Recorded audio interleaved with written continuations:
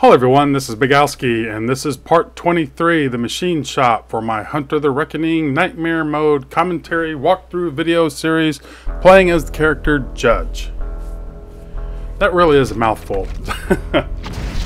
but anyway, it explains what I'm doing. Again, playing on Nightmare Mode. But I will say this section can be really tricky just with going in and out of a door that you'll see coming up. Sometimes I, I meant to, sometimes I didn't. Uh, with, with the amount of enemies that spawn outside that door, it could be problems how they jump on you pretty fast.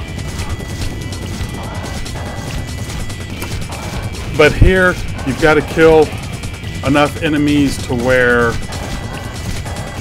one of the little hop along guys comes out and he'll drop a key so I could use my edge or you know, my word of power right now to kill these guys, especially since I have an edge glyph right here. But I want to save my edge for some of the stronger enemies later on in the level. So this can be a little boring. God, how many times have I said that? But you want to keep your special weapons as, as much as possible. Uh, you want to keep your, your edge up as much as possible.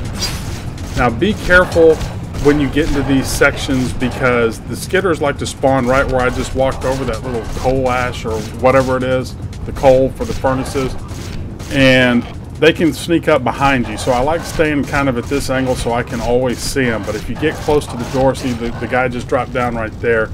But if you get close to the door or farther over to the to the left hand side where the I was just, yeah right there where I'm shooting that guy over there he will, uh, they could spawn and you might not hear him and then they come and blow you up. So just take your time. Again, I could, once I got that key, I could go out the door. But if I need to come back in here and I haven't killed these guys, those skitters will be running around the door. The, uh, see how that guy just spawned right on me and there was nothing I could do. It took a little damage. But if, if you go out that door and then come back in and those skitters around, they can blow up and kill you. So I kind of run around to just make sure that I kill them all. And see again, I have to punch, uh, press my button twice now instead of once like I was doing earlier. So I'm just running around right there to kind of get the guys. And then you can see how the guys will, will spawn right on you. And again, you want to be careful uh, with the flamethrower guys because if they blow up, and again, I didn't mean to go in the door right there, but now that I'm in, I know one of the skitters is probably going to drop. But like I said, the last thing I want to do is come back in and there's two skitters waiting for me. Now that's the one good thing about this. Uh, some of the other hunters, their abilities don't let you shoot through the door like that. So again, another reason why I like playing because again, if you don't, didn't mean to do that, but again, might as well stay in here and wait for the skitters to come out.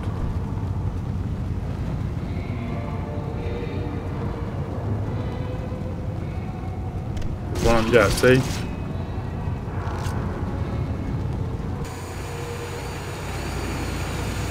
So, like I said, if you come out and haven't thinned them out, I mean, there there could like 20 guys spawn right in that whole area.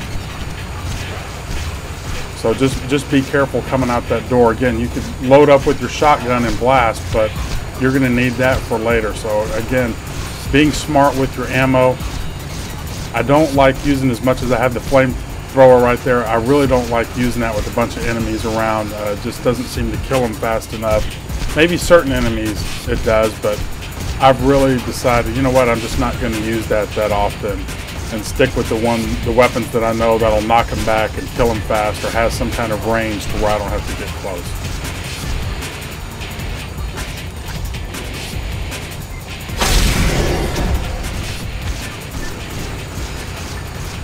See, that was the bad part about using that edge right there as I was far, I, I was so far I couldn't really pick up the blue.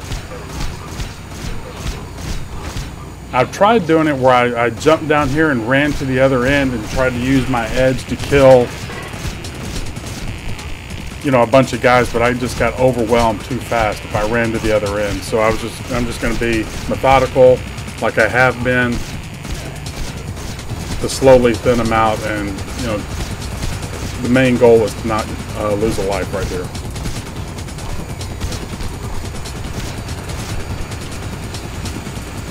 But see, I kind of got myself trapped in the corner there. So again, just be mindful of your surroundings. And see, again, I'm, I'm, i see the blue, I'm going for it, and the guy spawns right on me.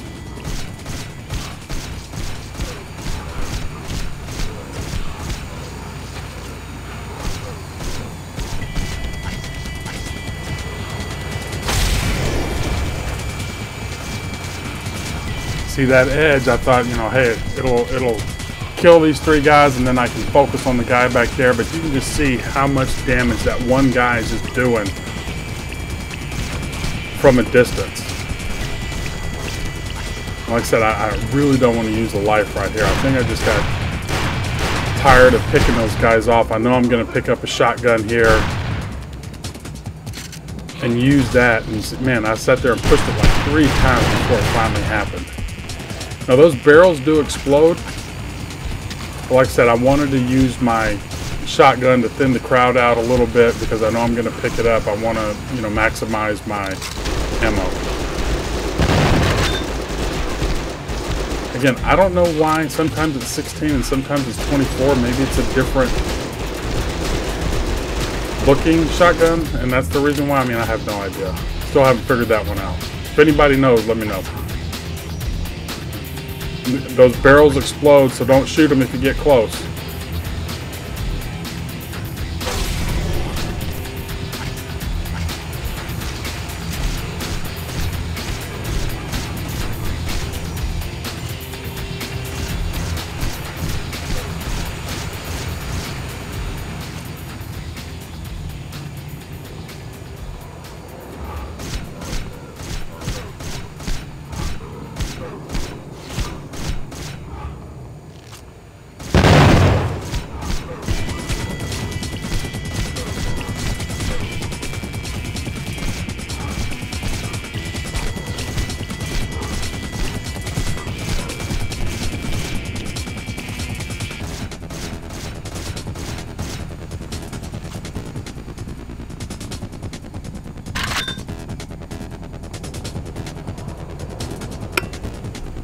If you got really overrun there, you might be able to stay inside that gated or that fenced area and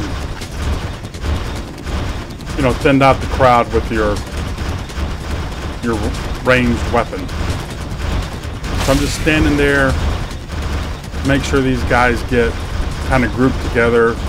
The strongest my edge is, it's not going to take those guys out with one shot, but I want to use that you know, go ahead and use it one time and then go back up there and fill all the way up.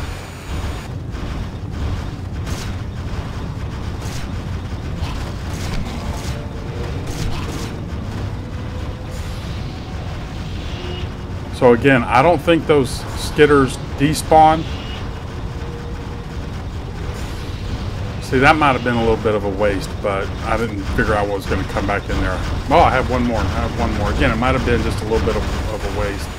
Just that little bit might have helped me out. You know, I maybe could have done a couple more uh, uses of that edge and then fill back up. But like I said, I don't think those skitters despawn and will be running around the door when you come back in. So again, make sure you kill those before you leave. Go ahead and let them drop you know, you might have to wait a little bit.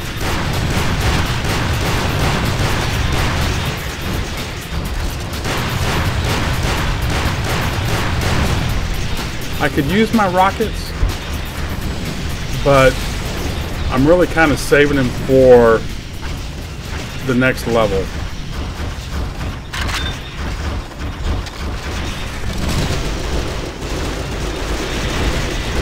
So again, this doesn't do that much damage, but I know I, I know I'm going to be picking up some shot or some machine gun in the next section, so I might as well use it, you know, to take full advantage of it.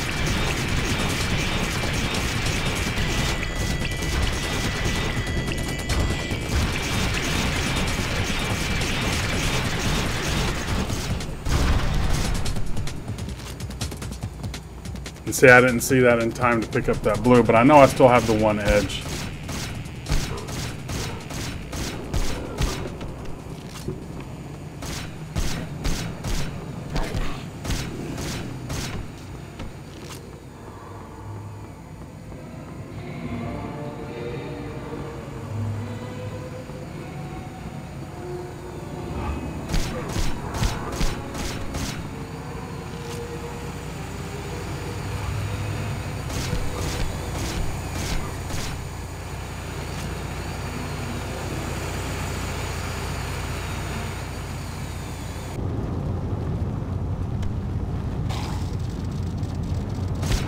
So again, I'm always on the lookout when you come back in that room. They usually spawn pretty fast.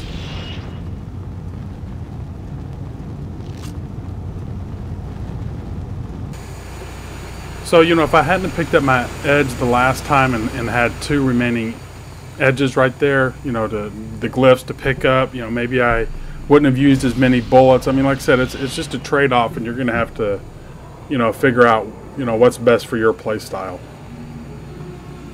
I'm always more of a cautious player. I wanted to see if I could jump up on top there. I didn't think I could. I might have done it before.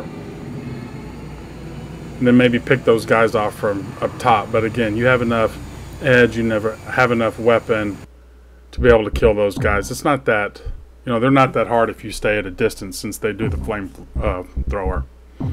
Now here, you know, I ended the level and I saved one person, but I didn't gain a life but that's okay. You know, I'm, I'm pretty good. This next section can be tough and tricky, but I'm happy with, you know, the amount of heavy weapons in terms of the rockets, the shotgun, the machine gun, the special weapons that I have. You know, I'm, I'm full on health and, and blue, so I'm good to go for this next section. It's going to be a little bit longer section, and because you fight two bosses, you know, you could have the potential to lose a lot of lives, but that's one reason why we saved our lives, you know, up to this point. So if we have them, hey, might as well use them on these hard boss fights. Anyway, that's it. We'll see you in the next one. Hope you enjoyed it. Take care.